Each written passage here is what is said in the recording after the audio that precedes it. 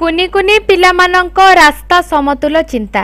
ରାସ୍ତା କଡ଼ରେ ପଡ଼ିଥିବା ମେଟାଲକୁ ଖାଲରେ ପକାଇ ସମତୁଲ କରିବା ପାଇଁ କିଏ ଅଖାରେ ବୋହି ନେଇ ଯାଉଛନ୍ତି ତ ଆଉ କିଏ ସାଇକେଲରେ ନେଇ ରାସ୍ତାରେ ଥିବା ଖାଲରେ ଢାଳି ସମାନ କରୁଛନ୍ତି।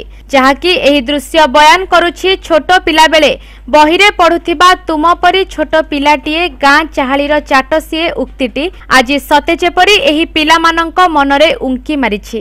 ଭଦ୍ରକ ବ୍ଲକ ଗେଲଟୁଆ ପଞ୍ଚାୟତ ଆଦିବାସୀ କଲୋନୀଠାରୁ ବଗମରା ଗାଁକୁ ସଂଯୋଗ କରୁଥିବା ରାସ୍ତା ବର୍ଷା ଦିନ ହେଲେ ରାସ୍ତାର ଅବସ୍ଥା ପୁରା ଶୋଚନୀୟ ହୋଇପଡୁଛି।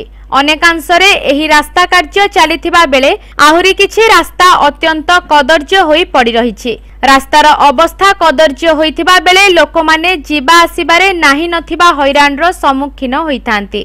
ଉକ୍ତ ରାସ୍ତା ଦେଇ ଛୋଟଠୁ ବଡ଼ ସମସ୍ତେ ହଇରାଣ ହୋଇଯାଉଥିବା ବେଳେ ସମସ୍ତଙ୍କ ଦୃଷ୍ଟି ଆଢୁଆଳରେ ରହିଯାଇଥାଏ ଏହି ରାସ୍ତାର ସମସ୍ୟା ଲୋକମାନେ ଯିବା ଆସିବାରେ ହଇରାଣ ହେଉଥିବାର ଦୃଶ୍ୟ ଏହି କୁନି କୁନି ପିଲାମାନଙ୍କ ନଜରରେ ପଡ଼ିଥିଲା। ଶେଷରେ ନିର୍ବୋଧ ନିଷ୍ପାପ କୁନି କୁନି ପିଲାମାନେ ଏକ ହୋଇ ଏଭଳି ରାସ୍ତା ସମତୁଲ କରିବା ପାଇଁ ଅଣ୍ଟା ଭିଡ଼ିଥିଲେ। ଉକ୍ତ ଘଟଣା ସମସ୍ତଙ୍କୁ ଚକିତ କରିଥିବା ବେଳେ ଅନ୍ୟମାନଙ୍କ ପାଇଁ ଏହା ନିଶ୍ଚିନ୍ତ ଶିକ୍ଷଣୀୟ। ପିଲାମାନଙ୍କର ଏଭଳି କାର୍ଯ୍ୟକୁ ସାଧାରଣରେ ପ୍ରଶଂସା କରାଯାଇଛି। ଭଦ୍ରକରୁ ପ୍ରମୋଦ ନାୟକଙ୍କ ରିପୋର୍ଟ।